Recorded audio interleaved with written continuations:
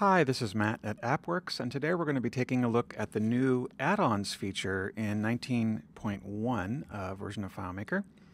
And the add-ons now support JavaScript. So let's just start with a brand new empty database. I'll just call it demo. And then keep the standard fields that are here.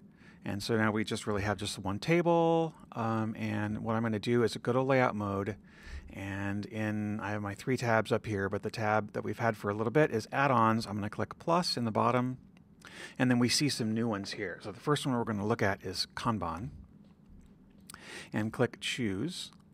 And then um, now the add-on is actually part of the file. So if I close and open the file, the add-on is there. So I need to make the, uh, um, so if I grab this and dr drag it out, you'll see that it's a little bit bigger than fits. So I'll scroll and make the layout a little bit bigger to support it. Um, and there's also a button over on the right here that needs to fit too. So make it a little wider. Maybe a little wider yet. And then when we go to browse mode, it'll actually immediately start working. And that's because, and there it is, there's Kanban view. So let's bring this over to the left here. That's because it automatically brings in a sample data and all the configuration necessary for this to work. So if I go to the graph again, I'll see I now have two additional tables that got brought in, including some sample records. Um, and it doesn't require any relationships, but the, the tables are there.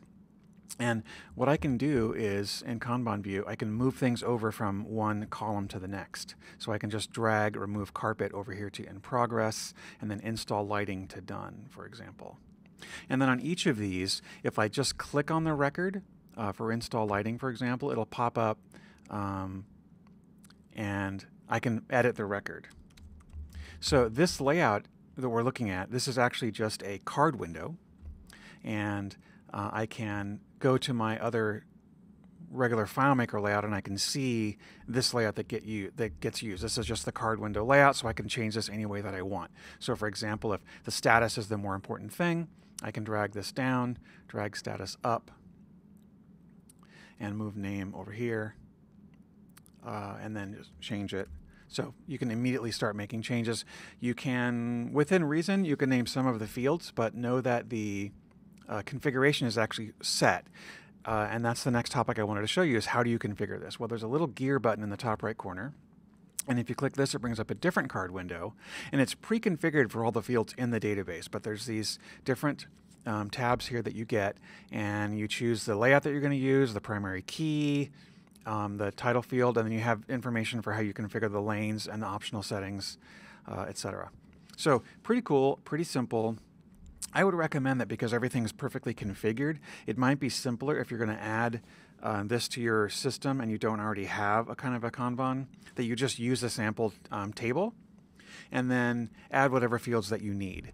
And I think that's probably a simpler way to do it. Uh, clicking on this, you can see that my changes are saved, and even with bad alignment of uh, fields. So um, that's Kanban View and one of the new add-ons in FileMaker Pro 19.1. It uses the JavaScript feature. So if I go to the layout mode, I see that this whole widget is just a web viewer. And it uses this new checkbox that came with FileMaker 19.0 that allows the web viewer to run JavaScript scripts. And then the code in here is really, really simple. It's um, a pretty small amount of code um, to call it. So pretty brilliant, pretty simple, and I'm very happy that it's here. Thanks for your time.